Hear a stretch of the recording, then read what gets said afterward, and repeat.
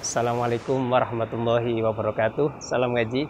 Berjumpa kembali dengan Gusrum Channel, channel kajian Quran, hadis dan hukum Islam yang edukatif, solutif dan memberikan alternatif. Saat ini kita akan membahas berkaitan dengan jejak para ulama, jejak para habaib. Ini merupakan satu konten baru di Gusrum Channel yang akan kita siarkan nanti insya Allah setiap satu minggu sekali. Untuk pertama ini kita akan membahas bercerita tentang salah satu habaib yang begitu sangat alim, begitu sangat tekun dalam ber, apa mencari ilmu, begitu tekun dalam belajar. Beliau adalah Al-Habib Syekhul A'immah Al-Habib Abdullah bin Alawi bin Ahmad Ibnil Fakih Al-Muqaddam. Beliau ini sejak kecil termasuk habaib yang begitu sangat gemar belajar, begitu sangat tekun belajar. Masih kecil, beliau sudah hafal Quran. Masih anak-anak, beliau sudah hafal Quran. Bukan cuma Quran yang beliau hafal, bahkan beliau masih kecil sudah mampu menghafal kitab At-Tambih karangannya Al-Imam Ash-Shirazi.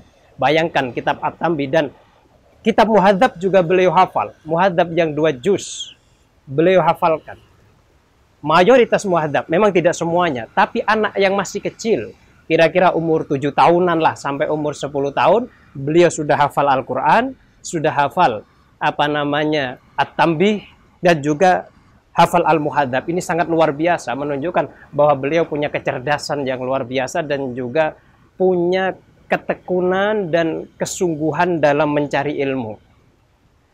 Saking tekunnya beliau dalam mencari ilmu ini setiap malam beliau belajar sampai larut malam bahkan kadang sampai subuh beliau belajarnya.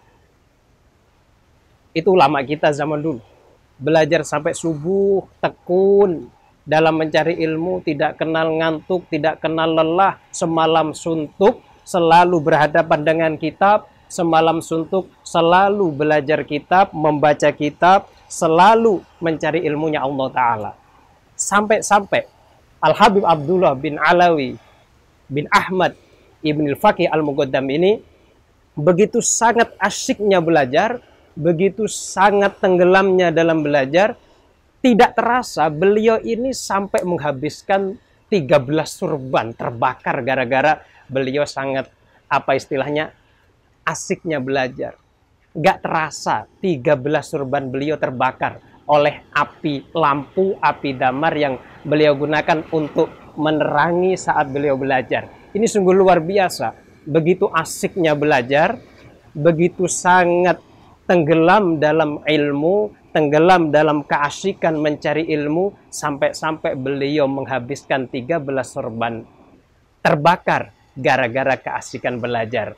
Ini begitu cerita yang sangat apa istilahnya menjadi inspirasi bagi kita semua, bagi kita umat Islam, bagi kita pecinta habaib dan bagi seluruhnya para habaib untuk mengikuti salafun solih, mengikuti guru-guru kita yang terdahulu dalam mencari ilmu, tidak pernah lelah, tidak pernah mengenal kantuk, seluruh malam dihabiskan untuk belajar mencari ilmu. Semoga kita mendapatkan berkahnya para habaib dan juga berkahnya Al-Habib Abdullah bin Alawi bin Ahmad Ibn Al-Faqih Muqaddam. Semoga ini bermanfaat dan bisa memberikan inspirasi bagi kita semuanya.